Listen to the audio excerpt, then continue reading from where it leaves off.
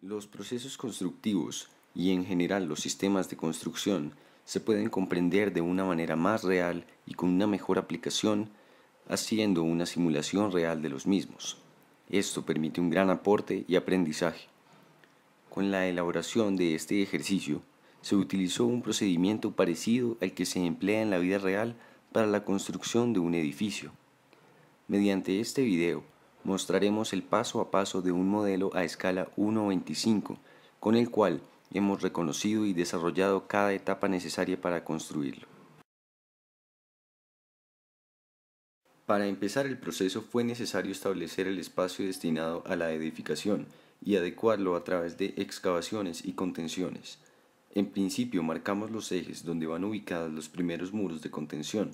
Excavamos los mismos a una profundidad de 6 metros.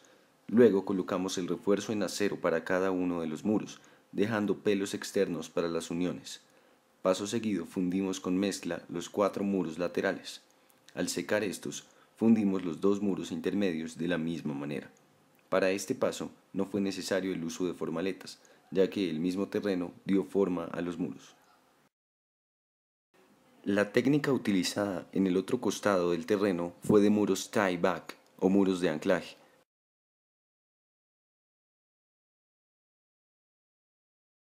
Para construirlos se necesitó excavar hasta una profundidad de 3 metros para los dos primeros muros laterales. Igualmente se excavó el terreno para así dejarlos a la profundidad de cimentación. Luego elaboramos las formaletas correspondientes. Colocamos los refuerzos con un taladro. Hicimos un hueco tanto en la caja como en las formaletas, esto para disponer un tornillo de amarre. Fundimos los muros y al fraguar el concreto hicimos el mismo procedimiento para el muro intermedio. Es preciso mencionar que este tipo de muros resultan útiles para crear contenciones en terrenos inestables y contrarrestar las fuerzas en estos. Durante el proceso de excavación, el terreno quedó con una leve inclinación, lo cual representó un obstáculo a resolver en el proceso. Esto se vio reflejado posteriormente en la construcción de las columnas. El método de cimentación fue mediante pilotes in situ de concreto reforzado. Es importante resaltar que esta forma de cimentación se utiliza en la construcción para varias situaciones, ya sea por la altura, peso de la estructura o condiciones del terreno. En principio, marcamos los ejes de replanteo.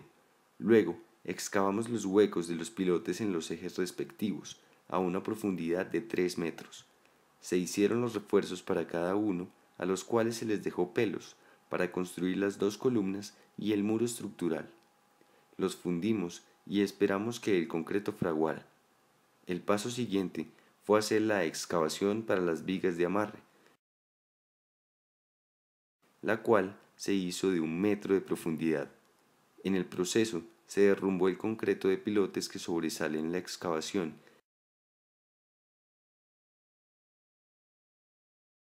y colocamos las formaletas para las vigas. Luego de situar el refuerzo, fundimos las vigas.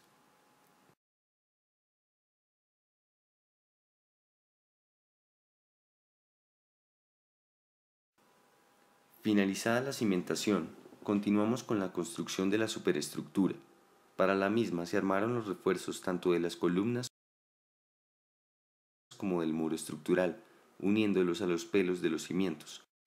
Luego se colocaron las formaletas de elementos verticales y se fundieron. Se vibró para que no quedara exceso de aire. Durante este paso se presentó un inconveniente debido a que las columnas quedaron a una altura menor a la del muro estructural, por cuestión de la inclinación del terreno. Por esto, fue necesario completarlas hasta la altura correspondiente. En la realidad, esto sería posible mediante el uso de formaletas trepadoras, las cuales llegan al punto donde es necesario completar la columna. Una vez lista la estructura vertical para el primer piso, procedimos a la construcción de las vigas y viguetas de entrepiso. Para ello, se hizo una estructura a manera de andamio para sostener las formaletas inferiores. Sobre esta, colocamos oasis para simular los casetones. Después, los refuerzos de vigas y viguetas y luego las formaletas laterales. Una vez listo todo lo anterior, fundimos el sistema de entrepiso.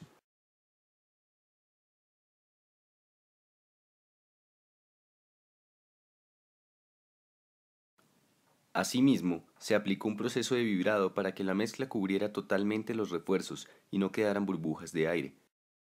Una vez se había secado el concreto, se procedía a retirar los casetones y a pulir la estructura, dejándola en perfectas condiciones para los siguientes pasos.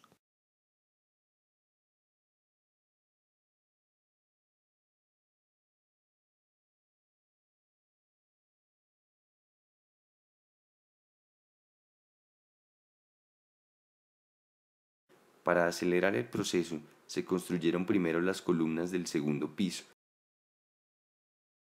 Así pues, se dispusieron las formaletas de madera ubicando un refuerzo en cada una de ellas para posteriormente vertir la mezcla. De nuevo, se hizo la vibración correspondiente y cuando el concreto fraguó, se desencofraron las ocho columnas. Lo siguiente fue disponer la placa de steel deck sobre las vigas y viguetas la cual se ancló a las vigas mediante conectores de cortante, simulando pernos de unión. Después, sobre dicha placa de steel deck, se ancló un refuerzo de malla para dar mayor rigidez. Se hicieron las formaletas laterales y se fundió la placa manteniendo la uniformidad y evitando filtraciones. Cuando la placa fraguó, esta fue desencofrada.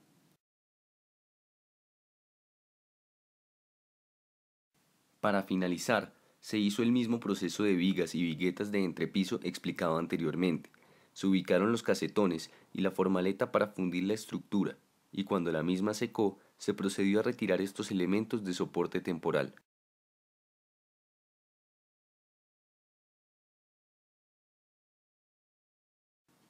Finalmente, se pulió el modelo a escala para que éste evidenciara de la manera más clara el sistema de construcción utilizado.